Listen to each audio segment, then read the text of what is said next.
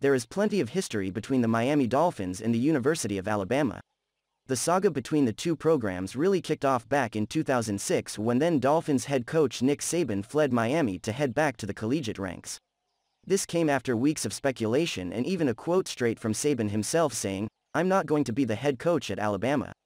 14 days later, Saban was at a press conference in Tuscaloosa being introduced as the head coach of Alabama. The success that Saban enjoyed after leaving the Dolphins is legendary, as he has built one of the most storied programs in college football history.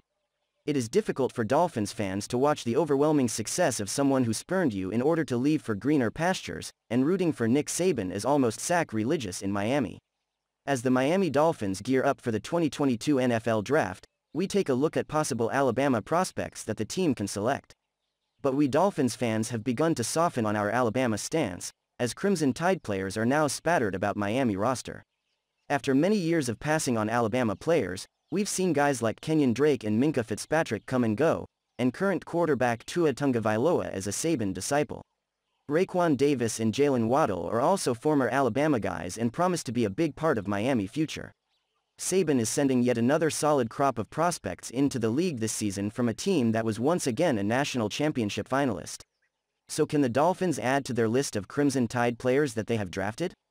And, should they? Here are three Alabama prospects that Miami can select within the first three rounds of the 2022 NFL Draft. Jameson Williams. There is much speculation about what Miami will do with their first round selection, as it has been the subject of trade rumors as well but if Jameson Williams drops to the late first round window, then look for the Dolphins to swoop him up. Williams won't be the first wide receiver to come off of the board. Chris Olave, Treylon Burks, and Drake London figure to be some of the first pass catchers selected, meaning that there is a possibility that Williams isn't even taken until the second round. He shouldn't fall past the Dolphins, though. Williams is a speedster who was once a track and field runner and originally started his collegiate career with Ohio State. He was relatively unknown until he made the transfer to Alabama. In his two seasons at Ohio State, Williams amassed a total of 268 yards and three touchdowns. In one year with the Crimson Tide, he put up 1,572 yards and 15 scores. Williams would make a solid complement to play opposite of Jaylen Waddle, and next to Cedric Wilson Jr. who can also take the top off of defenses. I personally don't think that Williams will be available when the Dolphins are on the clock with the 29th pick but if he is, there shouldn't be a question about whether they select him. Christian Harris. There seems to be a consensus top 3 ranking when it comes to the 2022 linebacker class. Devin Lloyd out of Utah is generally the top-ranked prospect, followed by Nakobe Dean, whose draft projection is all over the board depending on who you ask. Christian Harris out of Alabama could be a guy that the Dolphins have their eye on, potentially in the second round. Harris is a stellar athlete whose body is NFL ready. His best attribute is his pass coverage, as he is able to cover backs out of the backfield as well as match up with tight ends down the field, both skills that would come in very handy for a Miami defense who might be losing a piece or two this offseason. If the Dolphins covet Christian Harris enough, then he could be worth trading up for. It is unlikely that Miami goes with a linebacker with its first round pick, and he might be gone by the time they select again at number 50. Don't be surprised to see the Dolphins use some of their draft capital to move up in the second round, whether it be for Harris or someone else.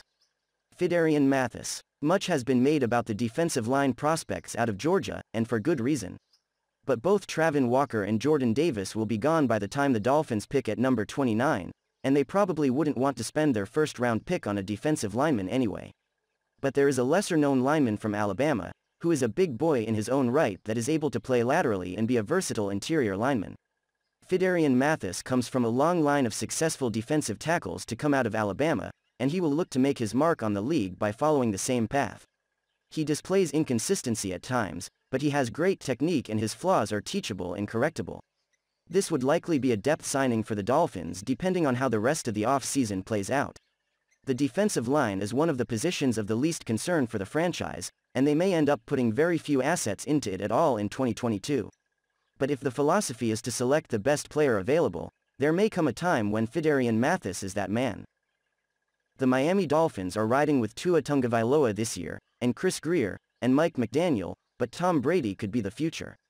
We don't know what the future is like for Tom Brady in Miami but we do have a good idea that his future in Tampa Bay is coming to an end.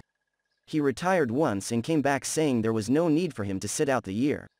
presumably because he thought he would be with Miami.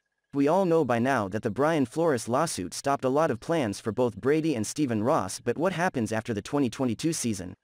In Tampa, it is now being reported that anyone buying season tickets to their games will be required to buy two full seasons instead of one.